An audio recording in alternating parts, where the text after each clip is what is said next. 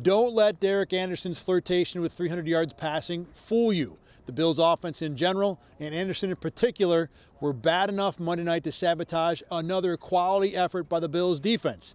And at 2 and 6, they've sabotaged this season as well. Obviously, wasn't good enough. We, we weren't able to move the ball enough offensively, and you know the quarterback plays a big part in that. And you know, I thought he made some good throws, and there's some throws that he'd like to have back. Biggest thing for us right now is we got to stick together um, as a football team, as a unit, and uh, and continue to work, man. Um, you know, we can't we can't hide from this. It's not going anywhere. We got to go right through it. Um, we got to own up to it, own up to our record, and continue to work. As far as you know, making the playoffs at this point, that's not even on our mind. We're just trying to find a win and get a win and try to get something jump started here and uh, try to create a winning culture, something that we haven't been able to do this year. Sean McDermott had no update on the health of Derek Anderson.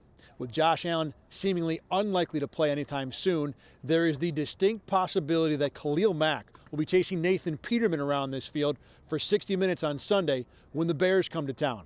For Bills fans, that type of scary thought is perfect for Halloween week. With the Bills report at New Era Field, I'm Thad Brown.